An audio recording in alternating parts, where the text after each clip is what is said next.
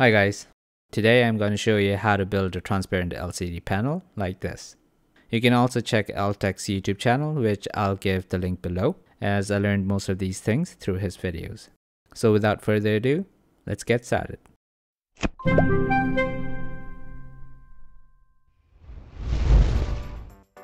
For this build, you'll need a monitor, preferably an old one that you can get from aftermarkets for 10 bucks or so.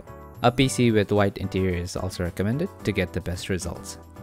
I got this old Samsung monitor, model number AL1717, for about 15 Australian dollars. Well, the first thing you gotta do is disassemble it. Make sure you check the assembly process for your monitor so you don't damage the cables you need for the build.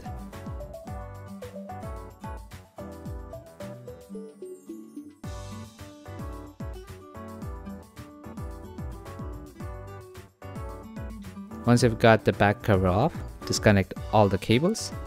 You usually don't need the cables outside the metal cover.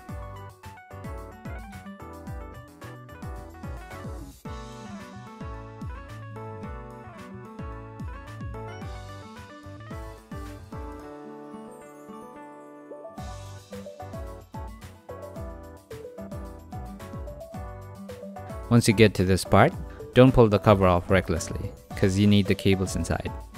You have to carefully disconnect the panel from the circuit board and keep it aside for now.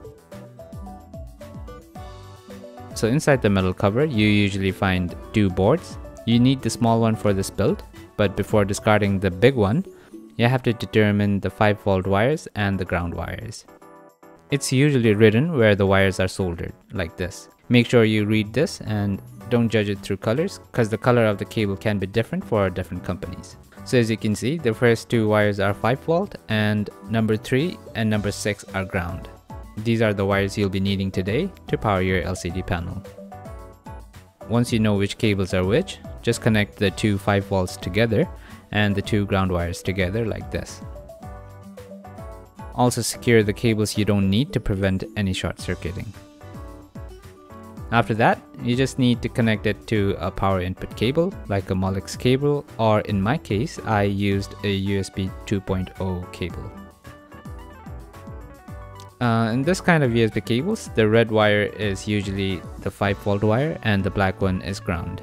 So all you have to do is connect your 5 volt to the USB's 5 volt and the same for the ground wires.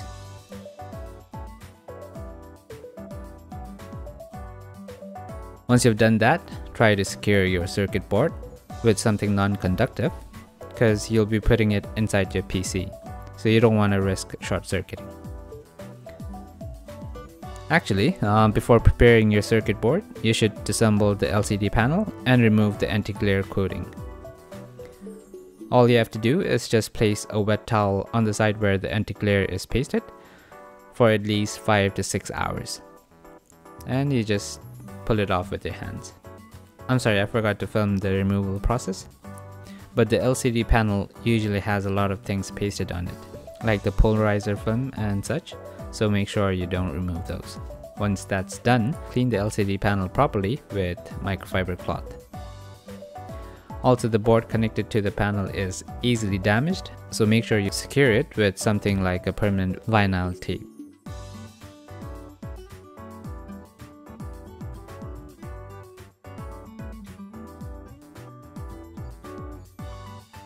I used a normal tape to stick the LCD on my side panel.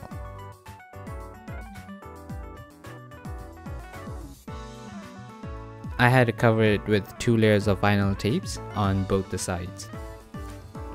You don't want light leaking out of the sides, so it's better to use black ones below the white tape.